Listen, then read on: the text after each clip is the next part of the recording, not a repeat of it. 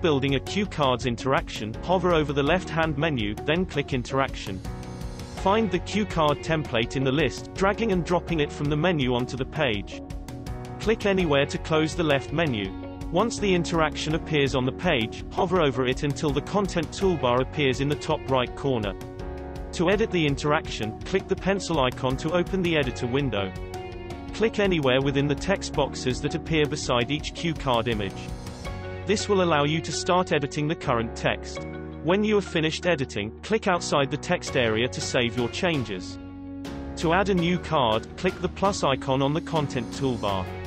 This will add a new card to the following page in the interaction. You can update the images by clicking Change Image in the toolbar. Your image library will open on the left-hand side of the screen. Drag and drop your preferred image over the existing one to change it. If you don't want an image to appear, click Show, Hide Image in the toolbar. Move to the next card by clicking the arrow on the right-hand side of the page. You can change the style of the interaction by clicking Change Style in the Content toolbar. Each interaction will automatically match the color theme set up when you begin creating your module. This can be changed by right-clicking anywhere on the background area to bring up the color picker. If you need to remove a card, click the trash icon in the Content toolbar. Once you are happy with your changes, click Save.